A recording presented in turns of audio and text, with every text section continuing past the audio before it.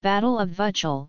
Wikipedia article audio The Battle of Wuchale was fought at Wuchale, Ethiopia, on March 14, 1782, between the forces of Emperor Tekle Giyorgis I and a force of Oromo. The emperor's forces won the battle.